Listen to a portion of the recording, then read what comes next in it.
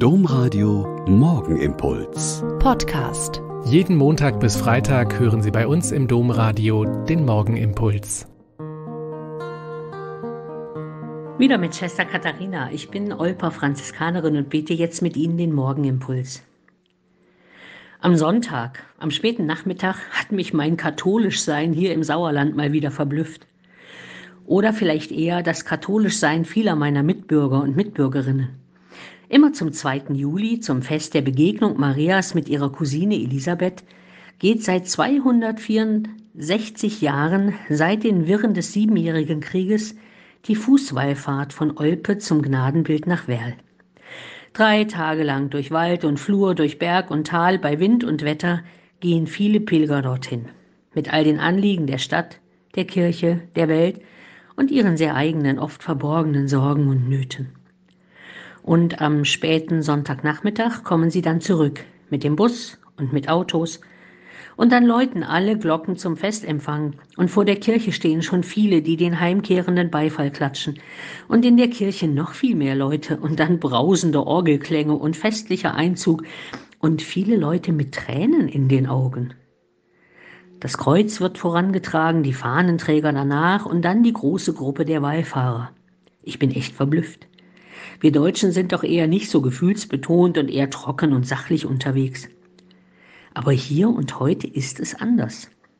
In der Abschlussandacht der Wallfahrt hat der Diakon über Maria, die couragierte Frau, gesprochen, die sich einmischt und sich selbst von Jesus schroffe Abkehr nicht davon abhalten lässt, für die Hochzeitsleute zu bitten, deren Weinvorrat echt zu früh ausgetrunken war.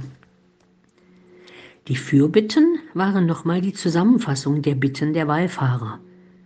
Und dann, ganz zum Schluss, hat der Wallfahrtsleiter noch ein kurzes Schlusswort gesagt, sich bedankt und ein paar Erinnerungen geteilt.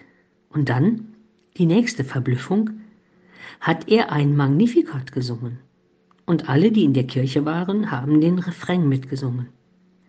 Es hat mich berührt und mitgenommen, wie man so sagt. Wenn ein gestandener Mann dem man die Anstrengung der letzten Tage deutlich angemerkt hat, das Lied singt, das die junge, schwangere Maria damals gesungen hat, und wo es auch darum geht, die Mächtigen vom Thron zu stoßen und die Niedrigen zu erhöhen, dann hat das eine sehr eigene Wirkung. Da haben die vielen Leute in der Kirche gespürt, dass es diesem Mann echt ein Anliegen war und er sehr deutlich davon gesungen hat, dass mit dem Vertrauen auf diesen Gott alles im Leben möglich und auch zu schaffen ist. Selbst die etwas süßen Marienlieder, deren Melodien so vertraut, aber deren Texte eigentlich nicht mehr passen, konnten diesen sehr ungewöhnlichen Eindruck nicht trüben.